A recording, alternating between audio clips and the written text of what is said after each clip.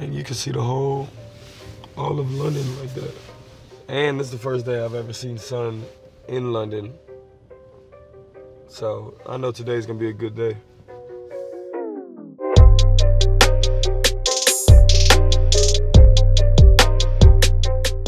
Odell Beckham Jr. here. Just driving around in a Rolls on the wrong side of the road. Going down the right way, the wrong way. Man, hell no.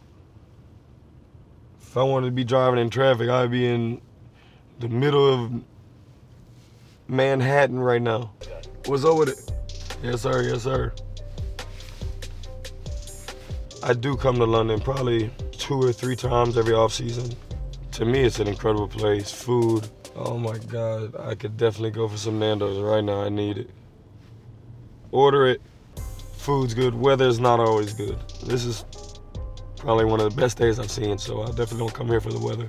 I don't know if it's because I'm from America or if it's really just a dope accent, but Cockney, I always talk about how it's just such a like a royal place. It's, London feels very luxurious.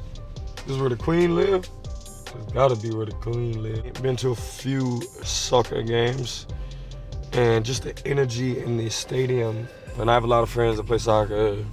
Some out here, Neymar, Mbappe, honestly, when I was younger, like I said, Rolls was one of the dream cars. You know, it's like I'm gonna work hard enough to where I could buy a Rolls, a Wraith. This one, it's got a real nice, like, sleek look to it. Like from the outside, it's all black. So having a black one or or any any of them really, that this one's just a little bit different. Made it back, man, safe and sound. Glad you can come on this little trip with me. I'm gonna get out of here. I'm not responsible for this beautiful car anymore.